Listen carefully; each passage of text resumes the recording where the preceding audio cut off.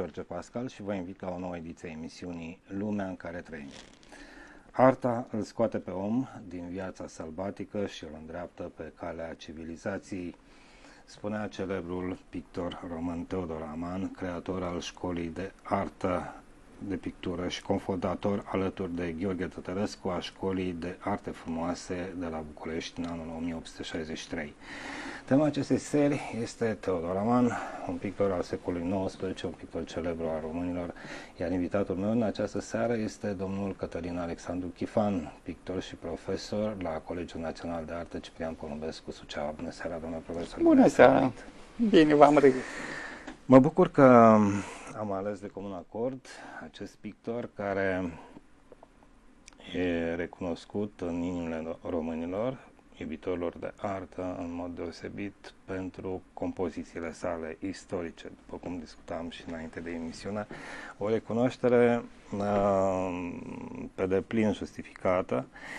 Uh, Aș dori pentru început să discutăm despre cine a fost Teodor Aman în conștiința românilor și aș pleca de la faptul că, de fapt, numele său adevărat este Teodor Dimo.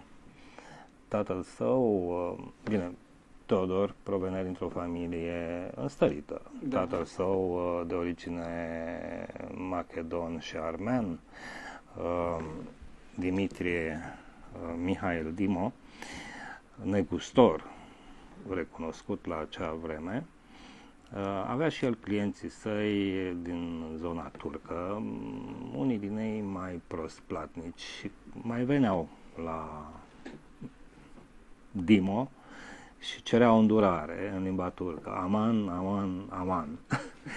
Ei, a fost recunoscut această acest cuvânt, Aman, ca și porecla adusă lui Dimo, Mihail Dimitrie, și de atunci a rămas Dimitrie Mihail Dimo Aman. Fiul său, Teodor, fiul cel mic, preluând această poreclă ca Aman. Mama sa, de origine grecească, de Spina, era născută la Paris, la fel provenind dintr-o familie înstărită. Iată că avem un pictor, Teodor Aman, care se bucură de un privilegiu, cel de a face parte dintr-o familie cu stare, cel care în copilărie uh, a învățat limbi străine, cel care în copilărie a învățat să cânte la pian și la violoncel mai târziu, cel care a avut o educație aleasă, comparativ cu o alte ilustre nume ale vremurilor care nu au avut aceeași uh, solgintă, să spunem, și aceleași avantaje ale familiei. Cine a fost Teodor Aman, profesor? Uh, Teodor Aman cred că este una dintre cele mai complexe personalități ale istoriei artei românești. S-a născut la 20 martie, dacă tot suntem în luna martie, se apropie Da, 1831, mă rog, în familia unui negustor bogat. Dimitri Dimu era și boier, mama născută la Paris, de origine greacă. Uh, asistăm, uh, mă rog, un, uh, în fața unui pictor, mă rog, care a avut o dezvoltare foarte bună de la început, fiind dintr-o familie înstărită având în vedere faptul că ceilalți uh, pictori sau artiști români puțini au fost privilegiați de acest lucru. Da, dacă ar fi să luăm ca exemplu Nicolae Grigorescu, care a fost foarte sărac de la început. E, nu este cazul lui Aman. Oricum vă face trimite și la Nicolae Grigorescu pe parcursul da, emisiunii, cu siguranță. Această pentru comparație se impune și este chiar, chiar interesantă. Da, și o să vedem că anumite teme o să le regăsim și pictura lui Aman și a lui Grigorescu în același timp. Uh, a absolvit uh, școala centrală din Craiova, după care uh, liceul Sfântul Sava din București. Încă de la, din copilărie, el era preocupat pentru artele vizuale, având uh, uh, probabil că și fenomenul ăsta istoric, pentru că ne aflăm în, a, Deci, în perioada în care ne apropiem de Revoluția uh, pașoptistă, mai târziu o să vedem că Aman se dezvoltă odată cu personalitățile vremii, cum era Nicolae Bălcescu. Deci, uh, foarte multe dintre uh, lucrările pe care le-a realizat și a încercat să le uh, realizeze pe pânză au fost inspirate din scrierile lui Bălcescu. Ei se întâlneau, erau prieteni. Se spune că ar fi avut o legătură și cu Vasile Alexandri pentru că a făcut o ilustrație la poezia Groaza. Cercul lui de prieteni mă rog, poeți, personalități și politicieni uh, l-au ajutat la formarea sa, uh, nu, nu doar ca artist plastic, ci ca senior al artelor vizuale în, în principatele române la acea vreme. Uh, mă rog, este momentul în care, mă rog, el a prins perioada dinainte chiar de Unirea Principatelor Române din 1859, uh, să discutăm o leacă despre pictura istorică, pentru că aici a excelat cel mai mult. Uh, o să vedem că în toată viața lui a călătorit foarte mult.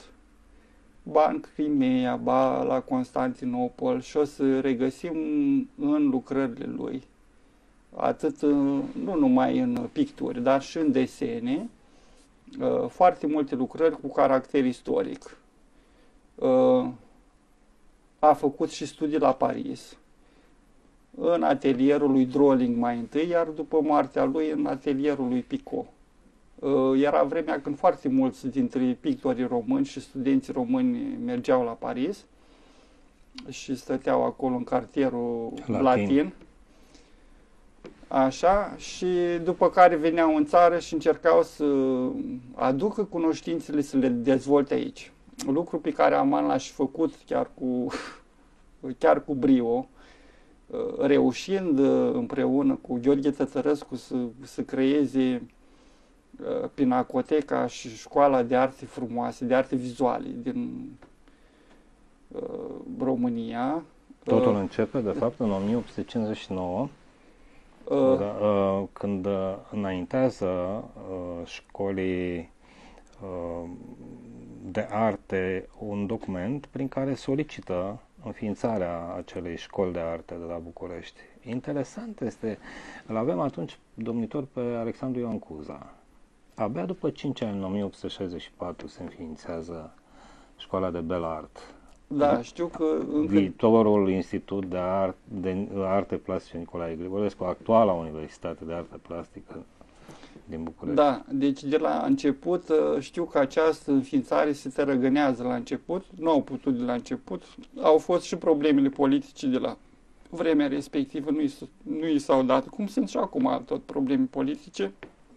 Arta nu era considerată uh, Uh, nu știu... O prioritate. Da, o prioritate, tot timpul erau alte lucruri mai importante. Uh, Teodor Aman a fost dintre acei pictori care s-a luptat pentru școala românească de artă, uh, chiar dacă a fost de foarte multe ori a fost plecat din țară și la Paris și în Crimea și la Constantinopol, el a încercat să dezvolte aici, să, în, pe, pe teritoriul țării noastre. Se poate observa influența artiștilor francezi, care, mă rog, li se spunea că totdeauna academiștii au avut o pictură mai convențională, mă rog, nu prea era agreiată în Europa pictura academistă și nu numai în Europa. Știu din uh, proprii surse că nici la noi și chiar acum, în zilele noastre, tot pictura academistă nu este chiar la nivelul la care ar trebui să fie apreciată. Uh, Acum, na, depinde de curent, depinde de profesorii fiecăruia pe care i-a avut, dar vă spun sigur că în breasla artistică nici acum academismul nu este pe locul întâi. Dar tot timpul a avut loc uh, prioritate cel alte curente artistice, impresionismul, cubismul, artele decorative, academismul mai puțin. Da, de ce? Care ar fi? Uh, cred că, nu știu, Ideea este așa asta de... un răutăcism? uh, Da, deci din totdeauna pictorii și, mă rog, generațiile viitoare sau au încercat tot timpul să, să spună, să aducă ceva nou. Și, mă rog, au devenit dușmanii curentului anterior. Și asta s-a întâmplat în toată istoria artelor. Deci tot nu se suportau unii pe alții. Nu, că ăștia erau realiști, că ăștia erau academici. Nu ne place, nu, noi vrem artă modernă. Și așa au apărut și celelalte cubisme, și impresionismul, și dadaismul, dadaismul care e pur și simplu a ignorat totul, toate regulile impuse de Academie. Adică cred eu că voința asta artiștilor de a se exterioriza, de a-și impune personalitatea. Este legată de mândrie artistică. Exact, da, și de orgoliu Da, personal. orgoliu personal. Înainte de a intra în emisiune, discutam despre lupta continuă între ciucuriști și babiști în secolul 20. Alexandru Ciucurencu și Corneliu Baba. Două curente diametral opuse, două școli diametral opuse, două bătălii crâncene, bine, bătălii în sensul metaforic, Da. dar uh, era o posibilitate. Uh, Nu puteai să uh, faci parte din uh, curentul ciucurist dacă tu în ceea ce lucrai în arta ta de zi cu zi a, uh, aveai mâna lui Corneliu Baba, deci te exprimai în stil Da. babist. Nu era acceptat și invers, evident. Da, deci totdeauna și acum există la fel și au existat dintotdeauna tensiuni între artiști, între curentele. În general, asta să știi și o să fie și acum și peste 1000 de ani și peste 10.000 de ani, artiști, indiferent, mă rog, de perioada istorică, ei nu s-au înțeles între ele. Au fost grupuri, grupulețe, să luăm de exemplu impresioniști, da, au avut câteva, vreo șapte-opt expoziții, după care s-au destrămat grupul. Deci au fost o leacă acolo, prieteni așa în grupare, după care gata. Fiecare a, a luat-o pe drumul, drumul lui. Tot așa se întâmplă acum, se întâmplă și acum. Sunt câteva grupulețe de artiști, ei expun împreună, dar na, în realitate, deci doar acolo ei ex- sunt împreună, dar în rest nu se înțeleg. Deci ei sunt cu totul separați, fiecare cu orgoliul lui. Nu știu, asta e o, probabil că, nu știu, ține de personalitate, iar ține de orgoliu personal. Excesul de personalitate. Da, excesul de personalitate. Iată ce spunea istoricul de artă Adrian Silva Ionescu în studiul său Modernitatea lui Aman. Aman a produs o adevărată revoluție pentru epoca sa prin îmbrățișarea unei cariere artistice de neconceput în ochii conservatoarei societăți locale, abia desprinsă din amorțeala fanariotă a portului Giubelei și Ișlicului. E adevărat, secolul XIX a fost un secol al fanariotismului. E clar că a fost o revoluție în ceea ce a întreprins Teodor Aman în arta sa. Și bravo lui! Uh, Desprinderea înseamnă un curaj, înseamnă abnegație în ceea ce faci. Nu este deloc ușor ca să uh, vii cu ceva nou. Și a fost acceptat de societate. Vom vedea mai târziu că în jurul lui Protipendada Bucureștiului se învârtea la orice oră. Da, așa este. Foarte mult a colaborat cu foarte multe personalități uh, ale timpului, cu doctorul Davila, da? Deci uh, când se făceau uh, spitalele acolo la București, din Pantelimon și Colțea, parcă, așa, uh, Teodor Aman uh, împreună cu Davila, deci au colaborat împreună ca uh, Teodor Aman să realizeze portretele, da, c- câtorva medici celebri care să le pună acolo în spitale. A colaborat cu Nicolae Bălcescu, a colaborat cu Bolintineanu, deci cu Vasile Alexandri, Odobescu. deci cu Alexandru Dobescu, deci foarte multe personați, personalități ale timpului. Lucru care îl face să, nu știu, îl ajută, da, și datorită celorlalte personalități îi ridică și mai tare personalitatea lui Aman, trăind în cercul ăsta, da, cum ați spus și dumneavoastră, da. Într-adevăr, așa era, la el acasă s-a adunat toată lumea bună, vineau prinți, regi, toată protipendada Bucureștiului a celor vremi sunt unea, chiar există câteva lucrări care reflectă aceste întâlniri. Este vorba de anul 1869 când construiește casa și atelierul. Aman pune suflet în ceea ce face proiectul este al lui, tot ceea ce înseamnă decorațiuni interioare, exterioare la casă și la atelier sunt ideile lui, se păstrează și în ziua de astăzi. Mobilierul, la fel, concepțiile artistului Teodor Aman și Alexandru Țigara Samorcaș spunea despre atelier. Atelierul său era singurul centru artistic în care se aduna elita bucureșteană a timpului. Și asta a fost pentru el un atu, un da, foarte ex- important azi din mâine, ca să spunem așa, pentru că trăia într-o, în, într-un club al elitelor vremii. Să nu uităm că în, în secolul XIX trăiește și Mihai Eminescu. Și el merge în uh, cercul junimiștilor. Și acolo era elita literaturii, de la Titu Maiorescu până la ceilalți. Ion Creang a fost ajutat de Mihai Eminescu să pătrundă și el tiptil, tiptil, așa mai mocănește în, în acest club. Era foarte greu să, să și totuși, faci față, pentru că era înconjurat de, ce să spunem, de, și dacă de oameni cu, cu ochi critic. Da, și dacă discutăm despre perioada asta și ca pictori, mă rog, chiar să spunem să fie avut atâtea relații, tot era foarte greu, mai ales, mă rog, erau foarte multe tulburări politice și ca să poți remarca sau chiar cum au reușit Aman să facă o școală în perioada respectivă, chiar merită chiar toate aplauzele, pentru că la un moment dat chiar el cere la profesori pe care îi angajează acolo la școală, chiar să, să lucreze cu copiii chiar și fără salariu, numai ca să mențină școala. Și la un moment dat reușește să, să o mențină, adică chiar foarte greu, chiar pe socoteala lui, adică și-a asumat niște riscuri pe socoteala lui ca să, să poată să ducă mai departe învățătura. Mă rog, el a studiat la Paris, se vede acolo în stil rigoarea academică primită și de la Droling și de la Picot, se vede în compozițiile istorice la care excelează. Aici putem face o paranteză, uh, da, ca și Nicolae Grigorescu.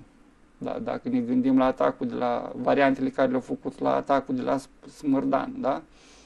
Uh, iar aici îl avem pe Teodor Aman, iar, deci, aici cumva ei sunt pe același plan, ridică națiunea română, ei erau uh, patrioți, amândoi, încercau să aducă în fața publicului evenimentele care se, se petreceau. Și o să vedem în pictura lui Aman. În partea a doua emisiune discutăm da. despre uh, mai multe zone în care a excelat autorul. Aș dori să discutăm și despre aspectul că în 1881 face parte dintr-o comisie importantă alături de Bogdan Peticei cu HD, Grigore Tocilescu, uh, uh, Alexandru Dobescu, o comisie privind uh, proiectul de coroană și de scepru al regelui Carol I.